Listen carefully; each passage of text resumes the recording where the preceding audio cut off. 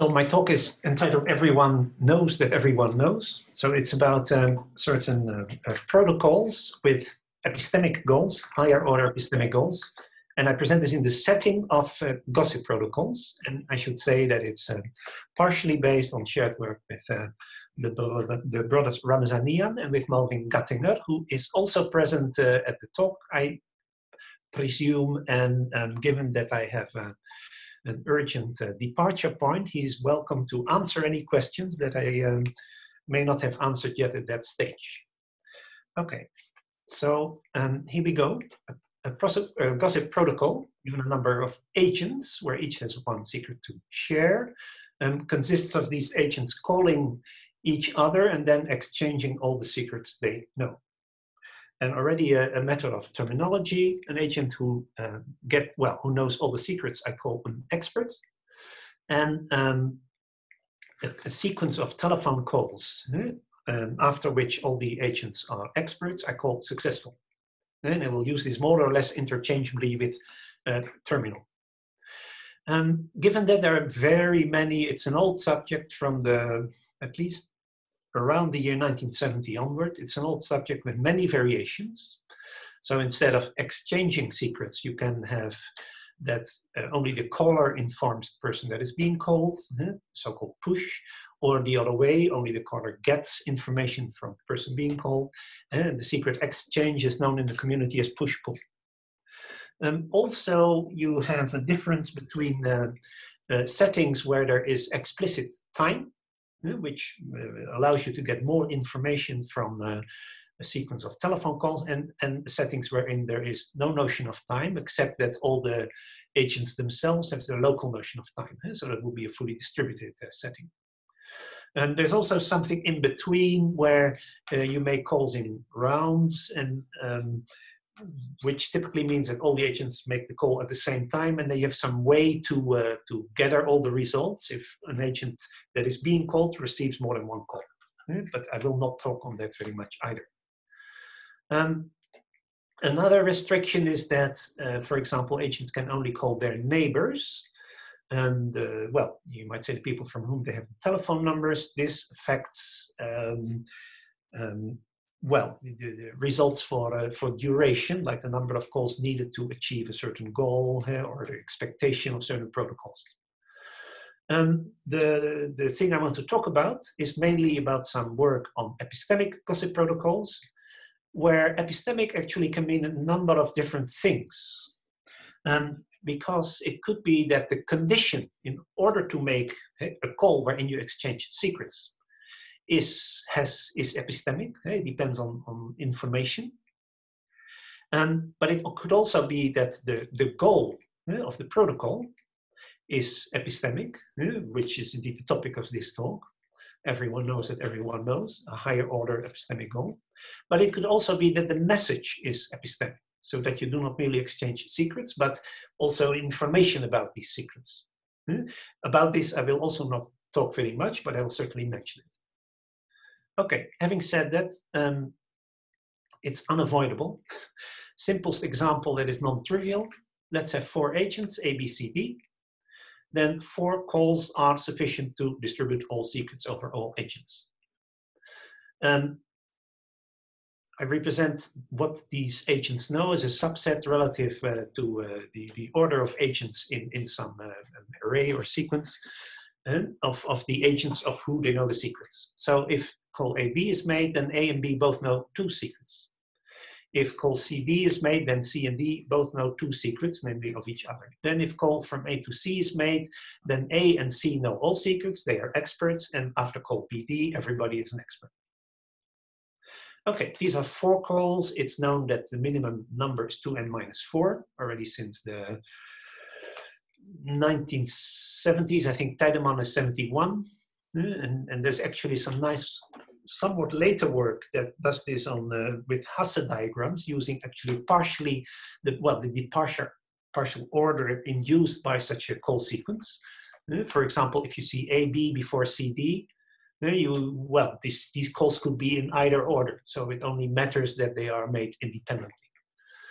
Um, if, for example, the first two calls overlap, eh, here agent A occurs in both calls, then it will take more than the minimum number of calls, and in this case, more than four. And also, nothing is ruled out in principle, right? If you keep repeating the same call, AB, AB, AB, AB, it goes on forever. Hmm? So this, this, you might say, uh, opens the area, well, indeed, of, of, of having schedules or, or planning uh, these call sequences. Right? So this is the, the relevance to, uh, well, today's workshop and the topic uh, in general. And, and of particular interest is if all the agents, um, you might say, are independently uh, acting, if it's a distributed system, and for example, all calls are being made randomly, eh, what then the expectation is of termination. And the number of n log n comes with that, which is, well, you might say is known as the, the coupon collector uh, uh, problem. The, the number of n log n comes with that because it's the, well, the number of, you might say, um, uh, times you have to uh, uh, do something in order to contact each of these n uh, participants. And there is a fairly straightforward way in which the number of calls you have to make to uh, well terminate a protocol is related to actually the probability of contacting a particular caller at least once. Uh, this this in fact works by the ability to to make well to connect any two nodes um, in a network um, by um, making more and more of these uh, random calls and then um, building some sort of Markov chain that you finally uh, makes you reach the, the arbitrary other agent, and then you have to do it all the way back, but both are n log n, so that remains n log n. Um, what, what is interesting in the community is that you can push this barrier n log n uh, down to log square of n, but on well, particular complex network arrangements that I cannot explain because I even do not fully understand them at the moment. But I find it interesting to mention because I would find it a challenge that with epistemic protocols, uh, epistemic gossip protocols, it may be possible to uh, push down this boundary even further. So this is a reason to mention this here. Um, okay, epistemic uh, gossip protocols. The idea is that, um, um, well, I could come up with at least three ways in which a gossip protocol could be epistemic. Maybe there are more actually in that thing. So one is that the, the, the conditions for making a call epistemic, yeah? or the goal of the protocol is epistemic, or the information exchange is epistemic. Calling preconditions uh, for this, well, quite a few uh, have has been investigated already, but you might say the variation is infinite because, um, well, you can have an arbitrary, complex, uh, very much higher order epistemic call condition um, the, the protocol known as LNS, and then you only call another agent if you do not know the secret of that agent. Um, I always thought this is, um, it looks like the, the condition known in the community as, as NoHo, no one calls uh, her own. Um, and actually, while preparing this talk, I realized that they are identical. I didn't realize that before. So in anything I've written on this topic, this is incorrectly omitted. So this protocol is much older yeah, I hope I will not be uh, forced to withdraw this statement, but I always find it embarrassing to find out that something I thought was fairly new has already been done 50 years ago, right? Uh, you don't want this. Um, another one um, is call me once. So in fact, this is a history-based criterion. So you cannot call someone you who, with whom you have already been in a call. And a, a more really epistemic criterion is that you can call an agent if you consider it possible that you can tell a new secret to that agent or if that agent can tell a new secret to you. Um, okay, not all uh, protocol conditions that are epistemic are, uh, you might say, felicitous because you typically require that it is, um, well, knowledge-based so that the uh, agent making the call knows that the criterion is satisfied that she requires. Yeah, so if the criterion is that you may call an agent if that agent doesn't know your secret, um, then the condition may hold, but you don't notice. Um, let us think just for a, a, a, short minute. Oh, and by the way, you indeed may interrupt me at any stage with questions, right? Even uh, whether they are cut out or not, I, uh, I like this, uh, no problem whatsoever. Um, suppose you haven't made any call whatsoever. Um, well, then this condition is satisfied, right? Because any other agent that you will call will not know your secret. Okay, but now consider any later situation during the execution of that protocol. And at least one agent now knows your secret. So that agent may have called many other agents and you don't know what. So if you now call an arbitrary other agent, it's possible that that other agent doesn't know your secret, then the condition is fulfilled. Or that other agent um, actually knows your secret and the condition is not fulfilled but you cannot know this. So this is not uh, a knowledge-based uh, precondition. Um, okay. Apart from uh, epistemic preconditions, we have, have epistemic goals. This is more the topic uh, I'm interested in uh, here and uh, now. Um, so usually the goal is just distribution of all secrets. Everyone knows all secrets.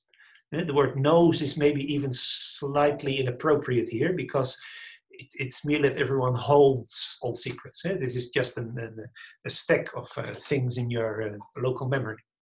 Eh? To call this knowledge is maybe uh, a bit so-so. Um, but now consider that you want, um, you, you, you, actually want to have some confirmation, some acknowledgement that everybody knows all secrets. Um, so you want actually the goal to be that everyone knows that everyone knows all secrets. So this is really epistemic, and from the, the, the epistemic that we see here, it's even second order, right? So this is a, a stronger goal. Um, also, in the remainder of the talk, I will call such agents super experts. Yeah, an agent who knows all secrets is an expert. An agent who knows that everyone knows all secrets is a super expert. Yeah? So a super expert knows that everybody is an expert. And a call satisfying uh, that this condition holds is then called super successful. Um, let us have an example. Um, and we use the same agents and we start in the same way. Uh, we have A calls B and then C calls D and then A calls C and B calls D. Now they know all secrets. Now what does A know need to do to confirm that this is the case? Um, you might say no further information being available on this. Well, A then has to call the other agents, um, apart from the agent C that you already called, to, conf to then you might say get all these secrets from those other agents. So A has also to call B and D. Um, and B would then still have to call C because B knows this from D and B knows this from A, but not from C. Now C has been in a call with A and in a call with B, but not yet in a call with D to confirm this, eh, because the first call CD, they were both not experts, but she has to make a final call CD, and then indeed everybody knows that everybody uh, is, is an expert. Um, so if we look at it a bit closer, then you see that uh, the first four was the standard way to make everybody an expert, right?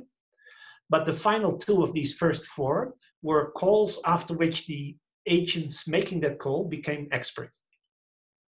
And um, a, a, simple way to uh, make everybody a super expert is that um, everybody is involved in a call with someone else, uh, after which they are both expert. But it is saying that you have for any pair of agents from all agents to make that call. That's n over 2 calls. Um, so that's the n over 2 that we see here.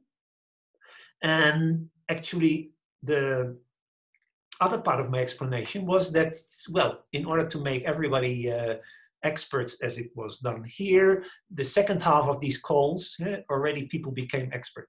So that's half of the known minimum of 2n minus 4. And okay, that is indeed the way to get this done. Um, there are other ways to get this done, and in fact, there are much easier ways to get this done if your goal is merely uh, the super successful uh, uh, goal and not uh, success, because you can simply take any agent and call all other, let that agent call all other agents, then um, call them back and make the remaining number of pairs uh, of agents that you haven't had yet.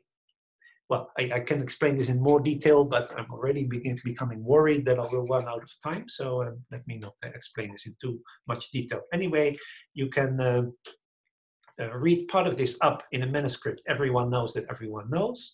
That is currently not yet available to uh, be read, but uh, hopefully this will happen sometime soon.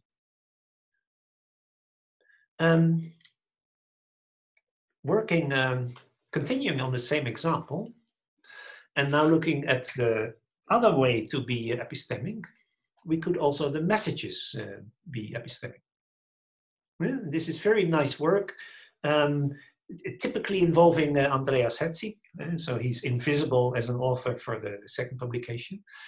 Um, above, we had the example we just saw, right?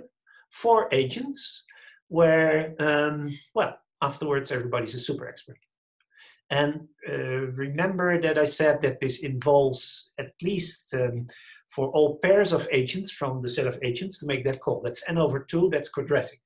So this is a quadratic, uh, uh, you might say, um, uh, uh, well, uh, order of calls that you have to make in order to achieve being super successful.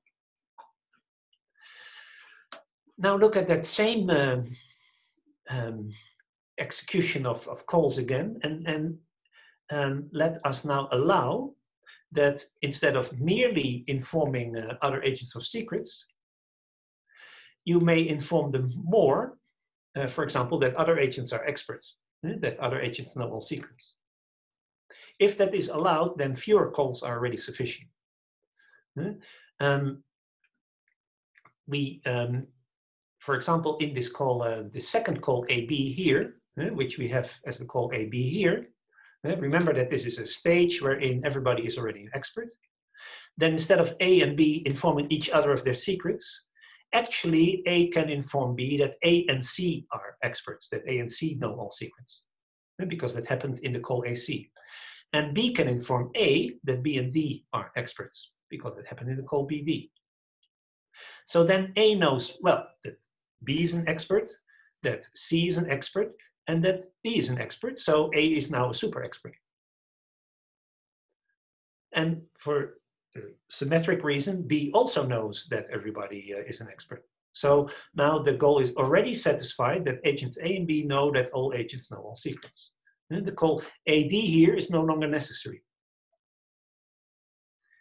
Um, well, in a similar way, uh, let me uh, here speed on a bit, we can um, also remove one more call, this call BC, and the call CD is sufficient to make everybody an expert. Uh, because then C informs D not only of all the secrets, but also that A uh, knows all secrets, and D also informs C that um, B knows all secrets. So then we are done, and now, if you, uh, well, if, if you look at this a bit more closely, we can do this in linear time if you look at the minimum execution time. Hmm? It, it might be interesting, by the way, which is why I mentioned this expectation on random scheduling. If you have certain, um, um, if protocols that do this systematically and you look at where in some uh, parts of the protocol are random, eh, for example, who you select to call if you have insufficient information, and what then the uh, uh, relative expectation is from this and this. Eh, so I would expect this to remain quadratic, and here I would not be sure what would happen. Yeah. It might be n log n, or it might be quadratic, I don't know. Yeah. Um, okay, more on everyone knows that everyone knows. Yeah, and now we get a bit more into the actually the, the, the well the details of this this work with uh, Rahim and Malvin. Um, because uh, another thing that seemed interesting to uh, to model, well, from a perspective of, of efficient multi-agent systems and, and acknowledgement or no need of acknowledgement, um, or or uh, dead or alive processes, the idea is that once you're an expert, you, you stop being interested. So you no longer answer calls, you just go home. You no longer make calls because you already know everything. Um, well, um, in itself, that seem, doesn't seem to mean very much because if you then were to call another agent, then you'd simply get no response. But now you suppose you know that this means that the other agent has already gone home because that agent is an expert. um, then it becomes meaningful because instead of the uh, example that I already showed, uh, um, consisting of eight calls, um, then at the moment, uh, after this call AD here, when uh, A is a super expert, A goes home, and we can now have B, C, and D call A, uh, either uh, scheduled or accidentally, and uh, these calls are not answered, but then all these other agents be, get to know from this missed call, so to speak, that uh, everybody is an expert. Um, of course, the whole thing of this is that this should be common knowledge among the agents, that this is how to interpret that if you call an agent, the other one doesn't answer the call. So this um, um, well, uh, this we have to model, and we will, but let us just for the moment contrast this with the same uh, feature, but now missed calls are made by uh, agents the moment they know all secret, but not the moment they know that everybody knows all secrets. And I realized that I was actually uh, uh, miss uh, saying that in the previous slide. So the, the idea is that you, you go home um, once you know that, well, everybody has received all the secrets. So once you are a super expert, you no longer uh, uh, answer calls and you no longer make calls. Um, so on that condition, we have, you might say, a good and a bad uh, modeling solution. So once you call a super expert, a super expert is one who knows that everybody's an expert. So then you are also already an expert because otherwise the person you're calling can't be a super expert. Um, but it also means you already know all the secrets, so even if no secret exchange is made, nothing is lost. Um, but in the other uh, condition that if you uh, stop calling once you are an expert, uh, which I incorrectly said on the previous slide, um, then you can be in trouble because if you call it an expert, uh, given those conditions, you're not yet an expert yourself. Eh, so presumably you called this other person because you want to learn a new secret from that person. But as the call is not answered, you haven't learned the secret, so you're still not an expert. Eh, so, so it's not a good idea to have this uh, uh, condition, even if it's common knowledge among the agents, that um, uh, experts do not answer calls. Um, oh, that was too fast. Uh, so just a bit more on protocol knowledge. So I'm going to introduce a language where instead of uh, A knows phi, uh, we have a primitive for A knows phi given that protocol P is common knowledge. Um, you have to be somewhat careful in defining this because a protocol, uh, gossip protocol, here is some program of a shape that until all agents are super experts, select some agents such that some condition is satisfied and execute that call. Uh, but this condition to be satisfied, that's something that is to be true after a call sequence in, well, in, in the semantics, so to speak. But um, that means that this, in order to determine the truth of a knowledge formula, eh, you refer to a protocol um, which is defined uh, using notions from the semantics involving truth. Eh, so we have to be uh, careful in setting this up properly a very straightforward way to see that this can be set up properly is that you even don't think of uh, simultaneous uh, induction or recursion, but simply see this uh, A knows P, A, well, A knows phi relative to P as not a modality with one argument phi, um, but a modality with, uh, well, n over 2 plus n arguments, namely for all calling conditions, uh, um, wherein uh, two different agents B, C uh, have to satisfy some formula. Uh, so, so in a way you represent the entire protocol by all the protocol conditions for any pair of agents. In principle, these can be different formulas. They can all be uh, uh, symmetric, but they don't have to be. And then it's just an operator with many arguments. Um, Details of that are in some other work called Strengthening Gossip Protocols, and um, of which I will also not uh, say very much more. Um, let us, um, well, mainly work in this token. So here, uh, also by example. So uh, take this protocol, CMO for call me once. Okay? So you may only be involved once in a call with other agents. Um, well, that relates to the, the, the, number of pairs you can pick from a collection of n things, which is n over 2. Uh, so that, that limits the maximum number of calls. And, um, and a maximal sequence of that kind is this sequence consisting of six calls. Um, I don't make the computation, but after this sequence, everybody is an expert. Uh, so, so this is also known from the literature. Um, but if the protocol is common knowledge, and well, and if time is also common knowledge, then well, then then then it's common knowledge, in fact, that after six calls, everybody's an expert. So then it's common knowledge that everybody's an expert, right? Okay, so so we want actually some system that guarantees that. Well, uh, this can be done. Um, but if it's not, well, if one of these things is not common knowledge, we don't have this. Uh, this is what I want to explain here. Um, so if we have um, um, oh, that's that's really distracting, Thomas. So now you, your head completely disappears in the background. Yeah, yeah, that's funny. Yeah, sorry. Yeah, um, it's okay. Um, first, look at this last call.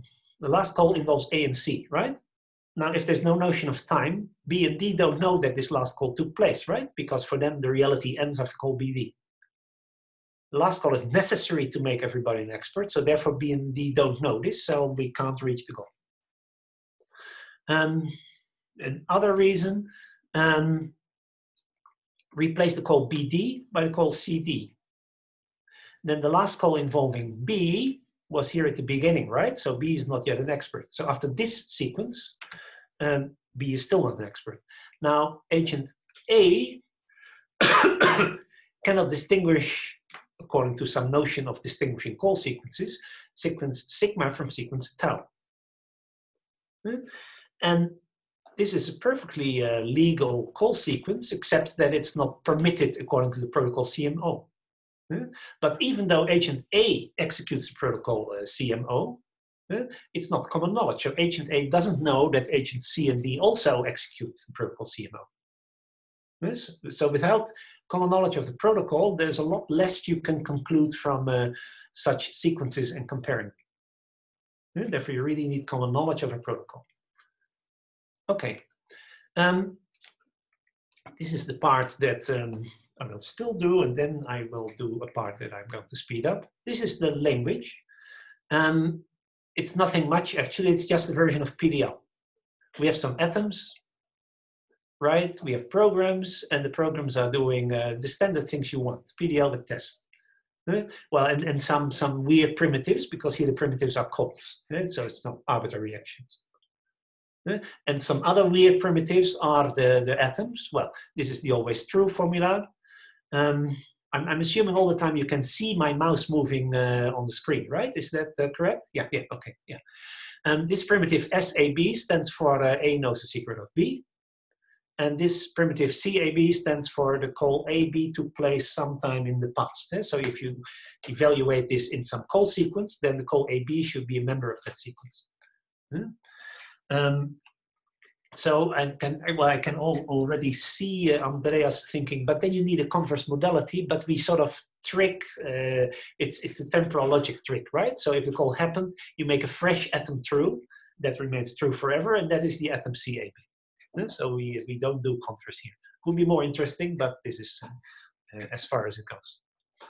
Um, okay, and then you can define a lot of things by abbreviation, and then the protocol just says, as long as not everybody is a super expert, well, as long as there's someone who is not a super expert and the protocol condition is satisfied, make that call. Hmm? And it terminates when everybody is a super expert. This says that everybody knows that everybody is an expert. Okay. The semantics is the part I will um, um, do quickly. The main thing about the semantics is that um, we have a clause for knowledge, which not surprisingly is interpreted as um, and, and, and, sigma and tau, I didn't say this, are, are sequences of calls. Yeah? So AB, um, semicolon CD, etc. So it says that, okay, um, agent A knows phi relative to protocol after call sequence sigma. If and only if phi is true, um, after any call sequence tau for all indistinguishable tau, and oh, he should be a, a, a P relative to uh, protocol P. You see, I have to uh, um, um, correct these slides. See, these are brand new slides, partially. Yeah. Um, essential is that the P reoccurs here uh, with the indistinguishability system. Yeah? And, and this relation, this epistemic relation, here the P is present, uh, is then interpreted, well, it has been built independently, so to speak, from the, the, the, the, prefix call sequences of sigma and tau by clauses that look that if you already have two sequences that are indistinguishable, and the, the set of secrets for uh, agent B is the same in sigma and tau, then if A is not yet a super expert and the call condition from A to B is satisfied, and and this is also the case for a call sequence uh, tau because it, it, you want some sort of uniformity there. Um, and also, now here is a, a, an opening parenthesis uh, uh, uh, missing. And if um, um, either B is not a super expert in both sigma and tau, or B is a super expert in both sigma and tau, uh, so which determines whether B will answer or not the call, then the consequence of uh, adding call AB to sigma and tau are indistinguishable. Uh, this requires a lot, maybe, of explanation. I will not uh, do this, but the idea is that the blue part uh, represents that super experts do not make calls. The green part represents the, the, the, the, calling condition of the particular protocol and that this is common knowledge in the semantics. And the red part models that super experts do not answer calls. Eh? In particular, if like in sigma, eh, B was already a super expert, so this red thing is satisfied. And that means that this AB will be interpreted by B not answering the call. Eh, that, that, means that A should not consider it possible that in some indistinguishable uh, sequence tau, B would have answered the call. No, no, then, then we can, then actually I should learn that B is uh, a super expert. Yeah. Um, more in detail, it's here. And this is the part I'll skip. And this is the other part I'll skip. Yeah, so you can do this formally and then you get this. Yeah, but this I don't want to do here. Um, and the one thing I want to point out, so there's the, the double squiggle relation, which is for relations where the time is counted explicitly. And there's the single squiggle relation where we have asynchronous uh, uh, gossip protocols, which you can see by having two sequences of some length being indistinguishable, and then you just add a call BC to one, but not the other sequence, right? So this is a way to compare sequences of different length, which opens a number of interesting problems, uh, how to compare um, uh, sequences within an equivalence class for an agent, because that equivalence class is infinite. Hmm? And um, we will get more to that. In particular, it creates problems how to do this uh, by model checking, uh, an asynchronous model checker but we know where we don't have this, but we can uh, model check uh, things about asynchronous protocols with a model checker. Yeah. Um, a number of further things one can say is that um, unlike usually for the k operator, we don't have that k phi implies phi. This is because if you, uh, calls can be executed anyway, if they're permitted or not. If they're executed when not permitted, then anything follows because the relation is empty there. Uh, no further explanation. Um, the other thing is that um, here the, the, the, the, parameter p uh, is missing, that if b is already a super expert and a calls b, uh, so that, that uh, b doesn't answer the call, that makes a a super expert. So this is a typical validity you would expect. For the protocols we have seen, we have a number of conditions in this language. Uh, learn new secrets if A doesn't know the secret of B. Call me once if uh, they haven't been involved, well, there hasn't been a call AB and there also hasn't been a call BA. Fine. Consider it possible, etc. The old K you get by the protocol any, where you can make any call. What sort of results do we have for this uh, uh, setting? Um, and here the, uh, the, the, the, few things I said about uh, uh, minimum execution length and expected termination, well, at least come partially back in the results.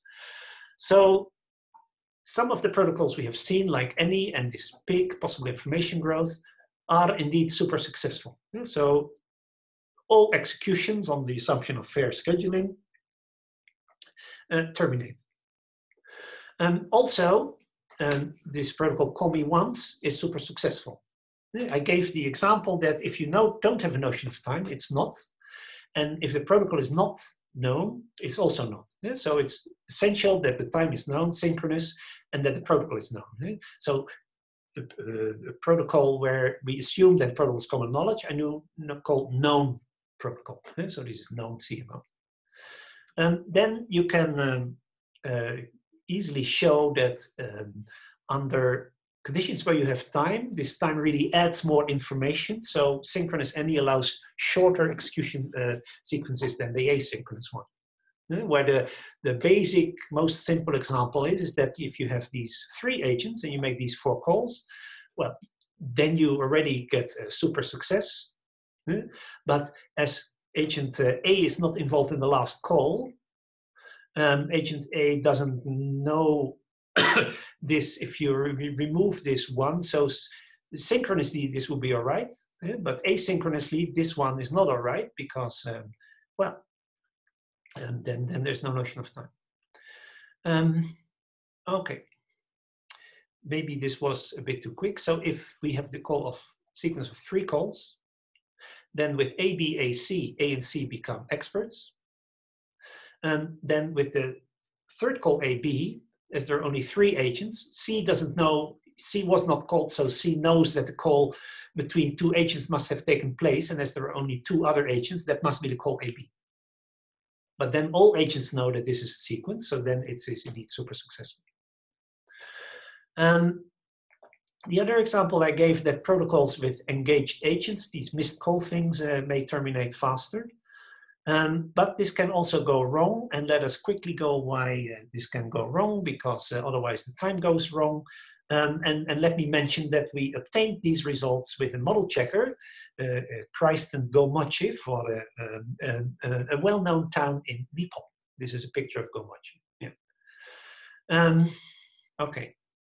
Look at this um, graph, and this will end um, my um, uh, main part of the talk this is, you might say, the execution graph for um, a, a, a, schema. It's simplified. For the protocol, call me once, where you only can make a, a call with another agent once. And um, here we have um, a part where call sequences are of length six.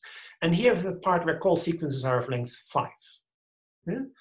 Um, one can show, and, and, and I wanted to spend five minutes on this, but I don't.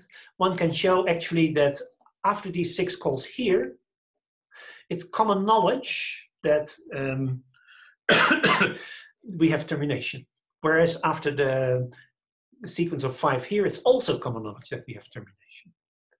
What, what do the capital letters mean? Well, the small letters means collecting the secrets, and the capital letters means that um, these agents become experts. So if we take uh, just one thing here, if we have C calling D here, C knows ABC and D knows D. So after that, they both know ABCD, ABCD. So now C and D are experts, right?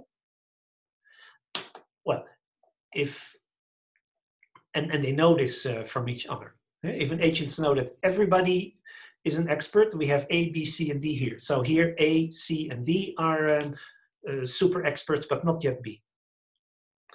And the problem with this analysis is that call AC is allowed, but A is already a super expert, so might will not make this call with the engaged agent semantics and would then prevent B from becoming an expert, super expert, because that's not yet the case. And there's a way to solve this, uh, which is uh, in the paper. Um, and that's it.